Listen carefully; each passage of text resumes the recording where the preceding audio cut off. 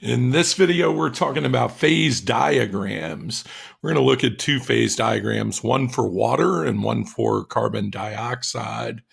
Let's start with what it is. A phase diagram is, is essentially a graph, and that graph on the x-axis has temperature, and on the y-axis, you have pressure. And essentially, what a phase diagram does is it maps out the different phases a substance might uh, might have at different temperatures and pressures. So in this in this graph, we have uh, water and water in all three phases. And if you think about how and when water exists in a particular uh, moment or or condition, it it generally is going to be ice at at pretty low temperatures and uh, liquid at intermediate temperatures and a solid uh, at high or excuse me a gas at higher temperatures. So if you look at uh, this graph essentially if i look in this area right here that area is the lowest temperature range on the scale. And we would expect for that area that this is most likely where you're going to find um, ice, where it's going to be in the in the uh, solid phase. But if I go to intermediate temperatures, temperatures a little bit higher, what you tend to find is areas where water is more likely to exist as a liquid. And so this middle section of our graph or our diagram is going to be water in the liquid phase. And then at, at the highest temperatures, you would expect for um, water to exist in the gas phase. And so typically, this is going to be the area to the far right in the graph, higher temperatures more likely to give us something in the gas phase. But you'll notice it extends even back to lower temperatures as well. And the reason for that is that that not only is temperature important when you think about phases, but it's also important to consider the pressure that a substance is under. So we experience life typically at one atmosphere. And one atmosphere is marked on this graph. You can see it on the y axis, it's right here. So I want you to think about what this dotted line uh, represents. At one atmosphere, relatively low temperatures, I have water in the ice uh, phase or solid phase. But then I get to this point, point B. And that is a transition or what we would call a phase change. So if I'm moving from lower temperatures through to higher temperatures, you would call this point, point B, would be a melting point. Now you might ask, why is it labeled as a freezing point then? Because it's got that label on it. Well, that temperature, zero degrees Celsius, actually represents two different points, two different phase changes. Because if I move from right to left, from higher temperatures to lower temperatures, that represents melting, or excuse me, uh, freezing. So going from high temperatures to low, freezing, low temperatures to high, melting. But you'll also see this additional word, normal and normal is just specifying that it's happening under what we would call standard atmospheric pressure or one atmosphere. Okay. If I continue along that dotted line in the liquid phase and continue to raise the temperature, eventually I get to point C. And point C represents what we would call the normal boiling point. Okay. It happens at 100 degrees Celsius. But if I happen to be coming from the other direction,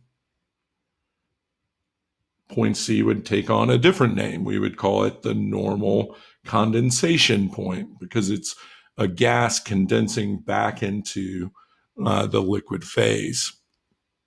There are all sorts of ways that you can get a substance to boil or to melt or to freeze. And it's not only dependent on temperature. So I want you to think about this. What if we were at zero degrees Celsius, but at a really low pressure? Those particles would be so far apart because of the low pressure that they wouldn't necessarily stick together. And so it's possible, even at low temperatures, to have water in the gas phase, as I do at this point. But what if I started to squeeze those particles closer together? In other words, to increase the pressure.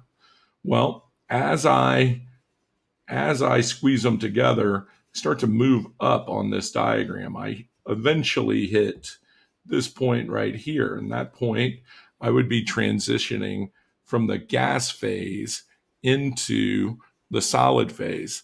That's a type of condensation. Okay. Think about if I continue along that path.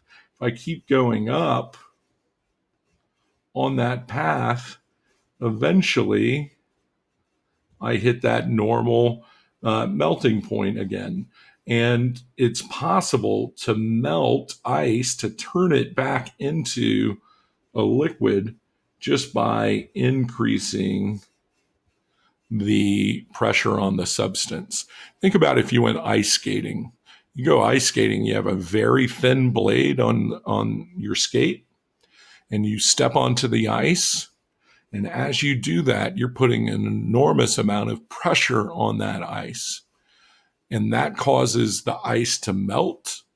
And you're not changing the temperature of the ice, you're just putting more pressure on it. You melt it, it turns into a liquid, and you're allowed to uh, or you're able to to glide along on the kind of liquid layer that exists on top of the ice. Okay. Same thing can be done with boiling. So if I start at a relatively low pressure over here and I start to increase that pressure, eventually I can cause water in the gas phase to actually condense back into a liquid just by adding pressure to it. Okay. Squeezing those particles together, it goes from the gas phase to the liquid phase. There are a couple of other points on here that I want to address as well. And the first, we're going to look at something called the triple point. You'll notice that all three lines come together at point A. That's called the triple point. And essentially, what you have at the triple point is a temperature and a pressure where all three phases exist in equilibrium with one another. And what that means is you could have liquid and solid and gas phase water uh, all existing in one at once, and and it's a pretty cool um, idea. I'm going to show you another video momentarily where you get to see um, a substance at its triple point, and it's a little bit. Um, it's pretty exciting because it's not something that we get to view every single day. The only other point I want to talk about is what's called the critical point. The critical point is a temperature. In fact, this is called the critical temperature right here. It's a temperature that exists such that even if I increase the pressure on the particles, they're moving so fast at that high temperature that no matter how much I try to squeeze those particles together, they never go back to the liquid phase. So if you're above the critical temperature, you can't get um, liquid water unless you cool that substance back down. Okay, last thing let's talk a little bit about density. Density is uh, something that we've talked about many times. It's a measure of the mass of a substance divided by the volume. But you can think of it this way dense substances, the particles are packed really tightly together, and um, substances that aren't very dense, the particles are not tightly packed together. So let's think about a, a uh, project where we decide we're going to take water in the solid phase as ice, and we're just going to increase the pressure on it until it becomes water in the liquid phase. Think about what we're saying there, though. We're increasing the pressure, which means we're causing the particles of water, the molecules of water, to get closer and closer together. That means that at, at this point right here, we have a relatively high density.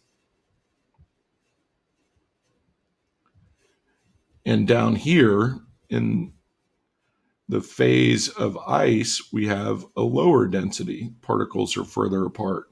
This makes sense. What happens if you put a cube of ice in, in your drink? It floats on top of the liquid water. That's because it's less dense, right? Okay, we're going to stop this video here and we'll catch up on carbon dioxide in our next video. See you soon.